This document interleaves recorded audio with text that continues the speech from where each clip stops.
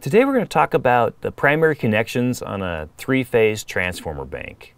And there's a rule, there's two rules that you can use when making these connections. One is the primary Y connection rule and one is the primary delta connection rule. So on our uh, screen here, we've got a Y connection on the left-hand side and a delta connection on the right-hand side. So when you're making a primary connection, it's determined by comparing the primary coil voltage rating of the transformer, and you can find this on the nameplates, which we have right here for each of our transformers. You compare that with the system voltage. So let's start on the left-hand side with our Y connection. So the way the rule reads, if a primary coil voltage matches the phase to ground voltage of the system, make a Y connection. So the first question is, well, what's the primary coil voltage rating? What's the, what's the primary coil in the transformer rated for? Well, it's the smaller number of the two numbers on that high voltage side. It's a 7,200 volts in this example on our transformers. If you've got two numbers, it's always the smaller number that the primary coil is rated for. Now, if you've, only, if you've got a transformer nameplate with one number, then that uh, primary coil is rated for what that one number is. And, it might just, if, if you only had 7,200 volts, then that's what the primary coil is rated for. Okay, so with the Y connection, like I was saying earlier, uh, if the primary coil voltage matches the phase to ground voltage, it's a Y connection. So if we had over here on the left, if we had a phase to ground voltage of 7,200 volts, then we're going to hook this, these transfer, transformers up phase to ground. Now if your phase to ground voltage was 7,200 volts, then that would give us a system voltage of 12,470. In this example, if you tried to hook up these transformers phase to phase and feed them with 12,470 volts, you'd break down the insulation in the primary coil and you would ruin the transformers and burn them up. So in this example, that's why we would hook it up phase to ground to get that 7,200 volts, what the transformer is rated for. Okay, let's move over to the right-hand side to our delta connection.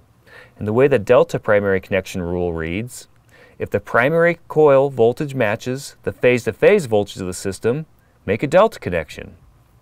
So if we had a phase-to-phase -phase voltage up here of 7,200 volts, then we would make a delta connection because that would give us the rating of our primary coil. Now in this example, this would, this would have a phase to ground voltage of 4,160. This would definitely be too low a voltage and you wouldn't get the right voltage in your secondary side. So that's why in this example, you would hook it up phase to phase. Let's move to a different page and uh, do some practice with these connections. All right, so here we've got our, um, in this column, sorry, in this column we've got our uh, nameplate. The next column over is our system voltage, and the right-hand side is what our connection is going to be, either a Y or a delta. So we look at our nameplate, and remember it's a smaller number of the two, so we need to focus on that 7,200 volts. If we look at the center column, our system voltage, to get 7,200 volts, it requires a phase to ground connection. And if it's a phase to ground connection, then we know that on our primary side, we're going to make a Y connection. Let's look at the example number two.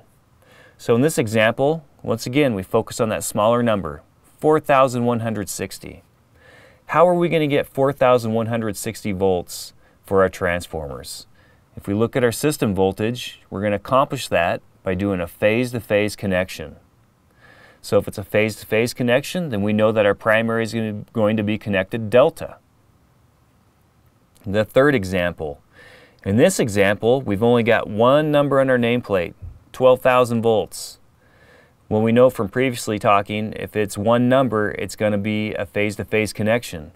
So right there, to get 12,000 volts, it's a phase-to-phase, -phase, which is a delta connection.